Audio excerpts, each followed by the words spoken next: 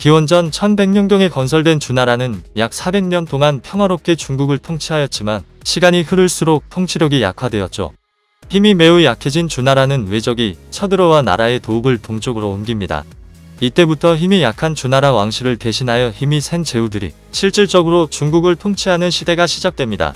주나라가 동쪽으로 도읍을 옮긴 때부터 진나라 진시황이 중국을 통일하기까지 무려 550년간을 춘추 전국 시대라고 합니다. 춘추 전국 시대에는 많은 학자, 사상가들이 나타나 중국의 학문과 사상의 기초를 만들었습니다.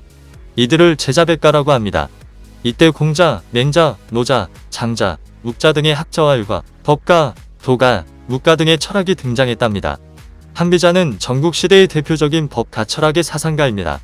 법가에서는 인간은 본래 이기적이고 미래를 예측할 수 없는 한계를 가지는 존재라고 생각했습니다. 그러므로 백성은 통치자가 덕으로 통치한다고 해도 사회 질서는 유지되지 않으며 오직 국가의 강력한 통제와 권위에 대한 절대 복종을 통해서만 사회적 안정과 질서를 유지할 수 있다고 생각했습니다. 이 때문에 한비자는 진시황이 매우 존경했던 인물로도 유명합니다.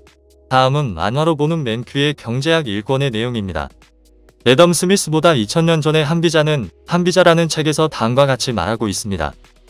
의사가 입으로 환자의 상처에서 고름을 빨아내는 건 환자를 불쌍히 여겨서가 아니라 병을 고쳐주고 사례를 받기 위한 것이다. 수레를 만드는 제조업자는 많은 사람이 빨리 부자가 되길 바라고 관을 만드는 제조업자는 많은 사람이 빨리 죽기를 바라는데 이는 수레업자가 인자하고 관업자가 잔인해서가 아니라 사람들이 부자가 돼야 수레를 많이 팔 수 있고 또 많이 죽어야 관을 팔 수 있기 때문이라고 말하죠.